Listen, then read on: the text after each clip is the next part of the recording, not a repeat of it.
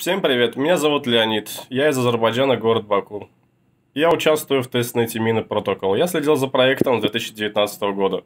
Идея блокчейна размером 22 килобайта вызвала у меня большой интерес.